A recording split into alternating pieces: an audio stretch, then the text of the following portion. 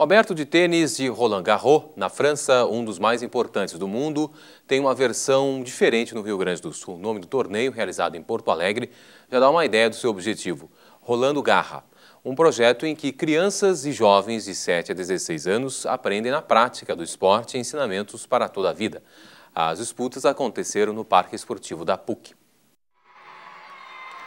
momento de integração, de torcer pelos amigos e de mostrar as habilidades no tênis. A competição reuniu crianças e adolescentes de cidades do Rio Grande do Sul, São Paulo e Uruguai.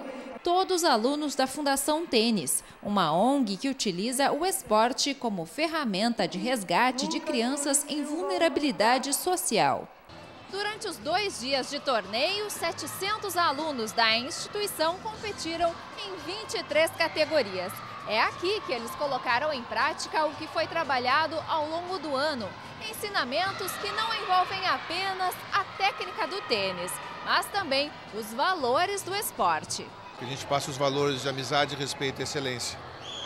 E a gente faz esse processo de ensino deles através do tênis, usando esses três valores para desenvolvimento uh, das crianças como um todo. A gente faz um projeto todo junto com as escolas, as escolas colocam as crianças dentro do projeto, a gente trabalha trocando informações com a, a diretoria das escolas, passando informação sobre as crianças, a gente das, das nossas avaliações com as crianças para a escola. Alunos da Fundação eles têm entre 7 a 10% acima da média do rendimento escolar das outras, dos colegas deles de turma. O torneio abriu espaço também para ex-alunos que puderam passar para os menores exemplos de conquistas possibilitadas pela experiência com o tênis. Alex ficou sete anos na fundação e recentemente passou em um concurso para a Marinha Brasileira. Comecei no tênis né, com 11 anos e nisso eles foram me ensinando os valores que tem na vida, o respeito, uh, ajudar sempre o companheiro, trabalhar em equipe. E nisso eu fui levando sempre comigo. E aí teve uma oportunidade que o tênis me deu de ir para um curso.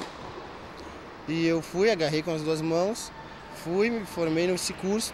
São lições dentro da quadra que inspiram na busca por um futuro melhor. A gente acredita que para ser um bom tenista ou para ser um bom advogado, para ser um bom professor, alguma coisa, as qualidades são muito parecidas. Então a gente não trabalha para eles serem futuros tenistas, e sim serem bons nos que eles podem fazer nas suas profissões. Eles nunca desistiram de nós, sempre nos incentivando a estudar, sempre nos incentivando a trabalhar. E através da Fundação Tênis, enquanto eu estava treinando, eu não estava nas esquinas aprendendo coisa errada. E dia 28, eu inicio a minha vida acadêmica na UBRA, onde eu vou cursar gestão de segurança. As inscrições para o Sisutec começaram hoje. São oferecidas quase 290 mil vagas gratuitas em todo o país, em diferentes áreas do ensino técnico. Para participar do processo seletivo, o candidato precisa ter concluído o ensino médio e feito o Enem no ano passado, sem tirar zero na redação. 85% das vagas são reservadas a candidatos que estudaram na rede pública ou na rede privada com bolsa integral. As inscrições devem ser feitas no site do Sisutec. A primeira chamada será no dia 29 deste mês. Uma missão federal chega em Caxias do Sul hoje para organizar a recepção aos ganeses e acelerar a emissão de documentos. Participam da missão os Ministérios da Justiça, Relações Exteriores, Trabalho e Emprego, Desenvolvimento Social e Combate à Fome, além de representantes do Estado do Rio Grande do Sul. Os novos imigrantes esperam ter a mesma oportunidade que os antigos moradores da região um dia tiveram. Assim como os imigrantes europeus, os mais de 300 ganeses que chegaram na cidade nas últimas duas semanas buscam uma vida melhor no Brasil. Os brasileiros são boas pessoas, eles amam as pessoas. Quando cheguei em Caxias, eu percebi isso e pensei: preciso um emprego e começar uma vida nova.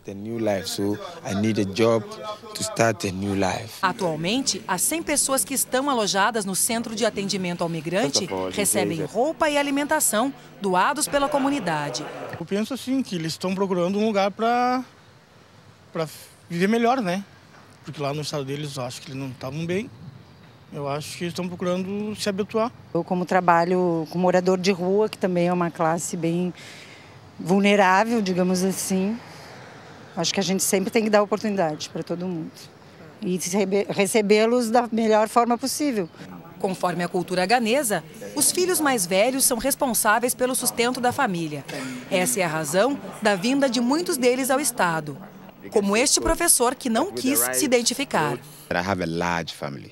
Minha família é enorme e eu sou o filho mais velho, então a responsabilidade de cuidar da família é toda minha. Preciso cuidar de 19 pessoas, mas meu pai e suas três esposas. É difícil. Até quando esses ganeses ficarão na cidade e se terão boas oportunidades, ninguém sabe. Mas uma coisa é certa: a chegada deles mostrou que a região está cada vez mais no caminho da globalização e da diversidade. A cobertura da reunião do governo federal com a Prefeitura de Caxias do Sul e os imigrantes você acompanha nos telejornais da TV. A seguir, você fica com o programa Estação Cultura. Mais informações à tarde no TV Notícias e depois no Jornal da TV, segunda edição, sete e meia da noite. Voltamos amanhã ao meio-dia e trinta.